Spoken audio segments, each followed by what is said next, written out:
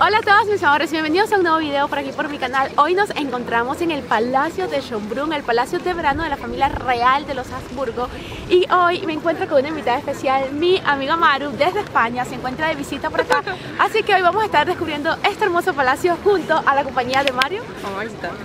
Así que acompáñenos, comencemos. El Palacio de Schönbrunn es un hermoso palacio planeado por el emperador José I y la emperatriz María Teresa en 1892. En su época era la antigua residencia de verano de la familia imperial y hoy día es un símbolo de poder, riqueza y cultura. Adentrémonos en este recorrido junto con mi amiga Maru. Comencemos.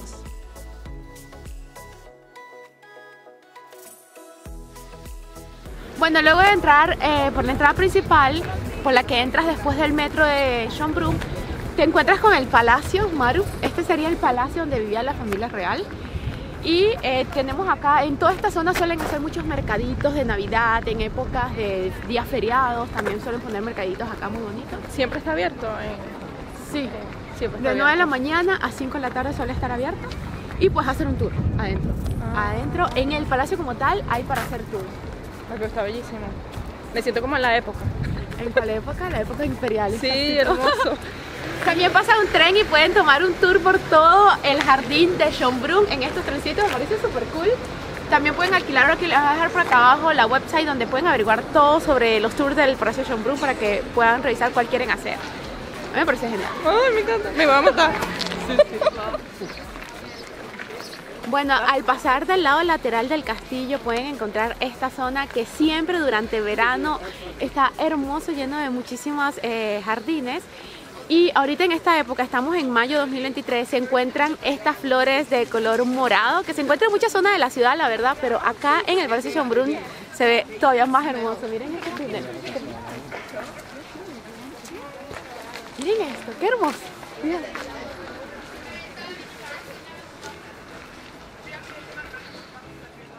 Bueno, ahorita vamos adentrándonos a los jardines.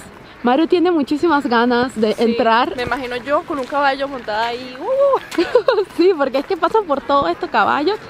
Están los trencitos también de los tours, entonces qué vida tenían los de la realeza. De verdad. sí, eso es lo que yo digo, o sea, oh, qué bello. Sí que tenían dinero también. Sí, se nota que esto es demasiado grande. Sí, es que miren, está la glorieta, todo esto jardín, jardín, está el palacio como tal acá. Entonces es como wow, wow, wow, vivir aquí tuvo que haber sido lo máximo. Aquí también se grababan películas. Ah, sí, aquí han grabado películas, comerciales, de todo. Porque es que miren qué belleza. O sea, A mí lo que me impresiona allá. Ah, Está bellísimo. eso. Sí.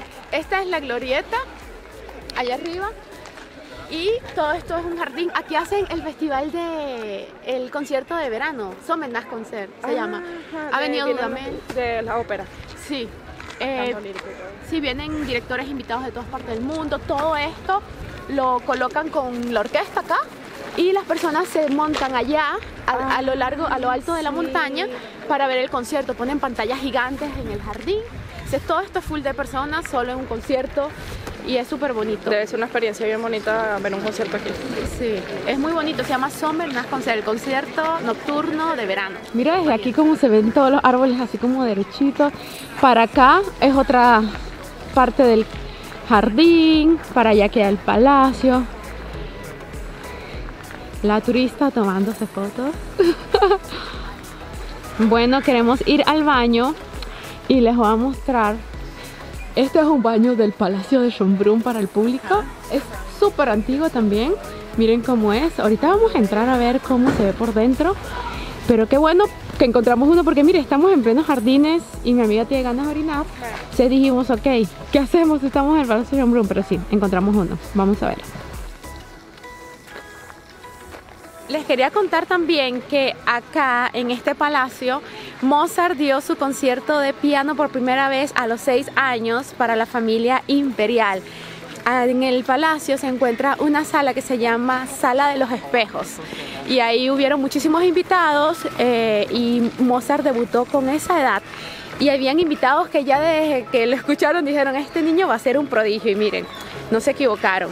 Sabían que Mozart pasó muchísimas cosas fuertes a lo largo de su vida como músico, sin embargo, él tenía mucho apoyo de la familia imperial en sus inicios. Eso también ayudó a que lo dieran a conocer, entonces eso también es parte como de la fama de Mozart hoy día porque a lo mejor habían como en todos lados muchas personas talentosas, pero bueno, a Mozart sí que le dieron la oportunidad. Ya con 6 años estaba allá adentro tocando a la familia imperial. Imagínense, como dicen hoy día, los contactos, ¿no? Eh, pero sí, un dato muy curioso y muy bonito porque saber de dónde viene Mozart me parece algo súper especial. Este es el laberinto, el zoológico está al lado, miren, Así es por dentro, pero a base de, puros árboles, no está construido de, otra cosa, sino de árboles. No vamos a entrar hoy, pero quiero mostrarles cuánto cuesta por si llegan a venir. Em, a ver, ajá, acá está. Estos son los precios, 5 euros, 4 euros. De 6 a 18, 5, adultos 5 y si tienes la Viena City Card, 4. Bueno, y por acá queda el zoológico del Palacio Schönbrunn, el más antiguo del mundo, señores. La entrada cuesta 26 euros, por acá podemos ver.